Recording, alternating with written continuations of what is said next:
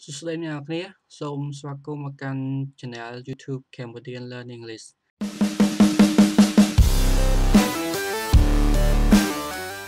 ហើយនេះគឺជាមេរៀនវិជ្ជាករភាសាអង់គ្លេសរបស់យើងកម្រិត Pre Intermediate ហើយឥឡូវយើងមកដល់មេរៀនទី24ហើយដែលមេរៀនទី24ហ្នឹងយើងនឹងនិយាយអំពី Participial Adjectives ឬក៏យើងអាចនិយាយថា adjective បញ្ចប់ខាងចុងដោយ ed ឬក៏ adjective ដែលមាន ing អញ្ចឹងអីគេទៅជា participial adjective យើងអាចទៅមើល slide បន្ទាប់ទាំងអស់គ្នាបានណាអូខេ participial adjective គឺជាគុណនាម ដែលបញ្ចប់ខាងចុងដោយ ed ឬក៏ ing អ្នកខ្លះយើងនិយាយថា participial adjective គាត់អត់ស្គាល់ហើយក៏តែបើគាត់និយាយថា interested ឬក៏ interesting bored ឬក៏ boring អីអាហ្នឹងគាត់ស្គាល់តាមពិតយើងអាចហៅឈ្មោះមួយយ៉ាងទៀតថា adjective ed adjective ឬក៏ ing adjective តោះអាពីរហ្នឹងផ្ទុយគ្នាណាអា adjective ដែលមាន ed ហើយនិង adjective ដែលមាន ing ហ្នឹងគឺរបស់វាផ្ទុយគ្នាតែម្ដងឥឡូវអ្នកអង្គគ្នាមកមើលឧទាហរណ៍ពីរនេះគេឲ្យមើលភាពខុសគ្នាណាអ្នកអង្គគ្នាកុំអាចតន់មើលអាខ្ញុំសរសេរថែមនេះគឺនិយាយថា I was bored I was bored ហ្នឹងមកថាខ្ញុំធុញទ្រាន់ណាមួយទៀត the lesson was boring គឺថាមេរៀនហ្នឹងគួរឲ្យធុញទ្រាន់ណាអញ្ចឹងបើខ្ញុំភ្ជាប់ប្រយោគហ្នឹងពីរនឹងបញ្ចូលគ្នាជាមួយខ្ញុំភ្ជាប់ថា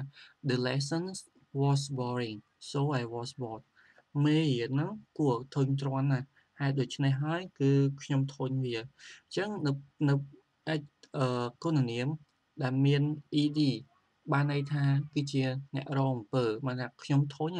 មិនយើងនៅសុកសុកយើងទៅធុញទេបានន័យថាមានអ្វីមួយមកធ្វើឲ្យយើងធុញអញ្ចឹងបានយើងប្រើគុណនាមមាន ed អញ្ចឹងខ្ញុំធុញឥឡូវយើងសួរមូលហេតុអីបានធុញ the lesson was boring បានន័យថាមេរៀនហ្នឹងគួរឲ្យធុញអញ្ចឹងអា boring ហ្នឹងវាគឺជាអ្នកធ្វើអំពើគឺជាដើមចមនៃការធ្វើឲ្យខ្ញុំហ្នឹងធុញ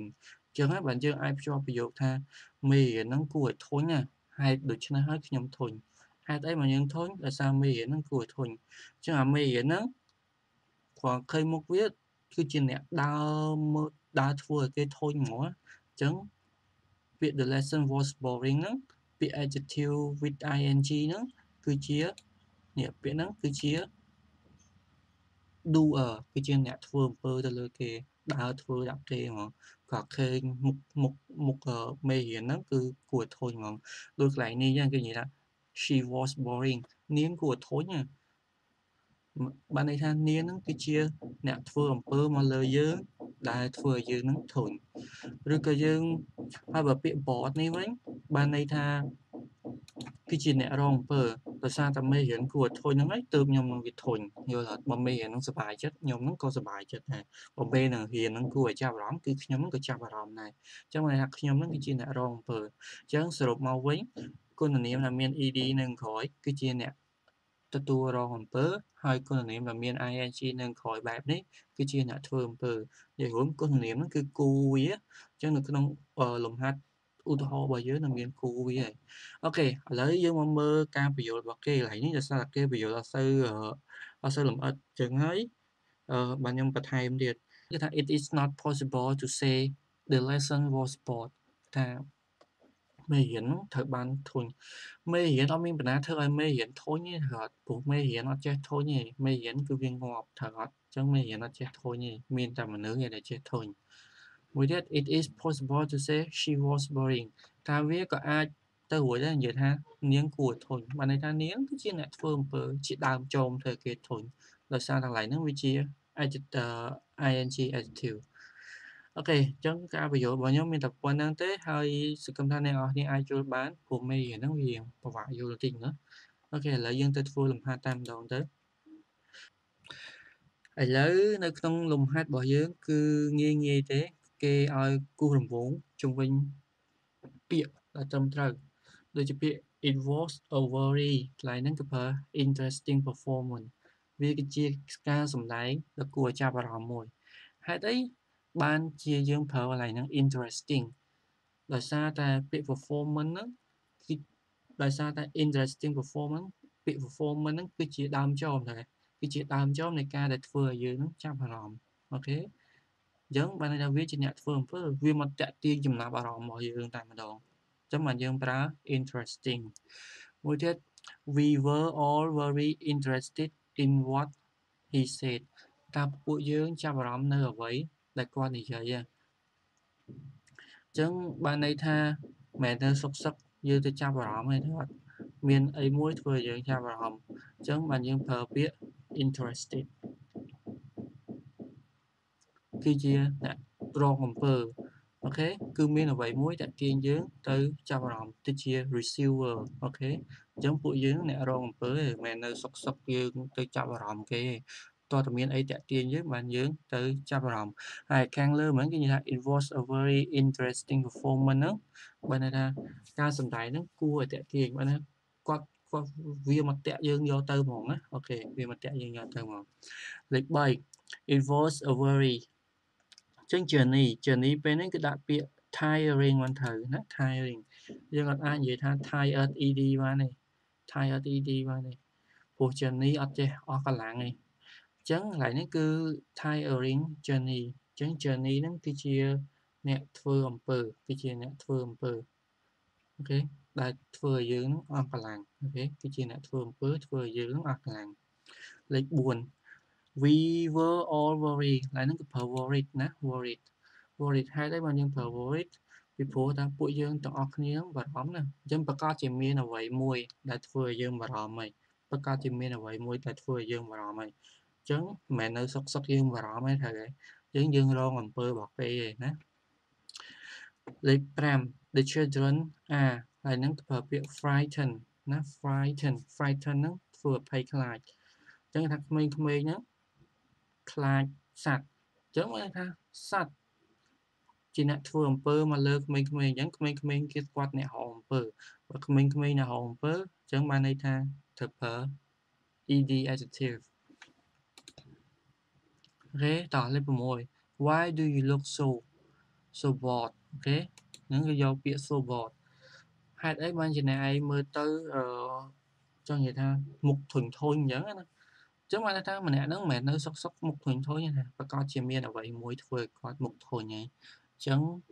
គាត់ជាអ្នករងអំពើអញ្ចឹងបានយើងប្រើ board អូខេហើយមួយទៀតលេខ7 it was a terribly exciting day គឺជាថ្ងៃដ៏គួរឲ្យចាប់អារម្មណ៍មួយអញ្ចឹងពាក្យនេះ exciting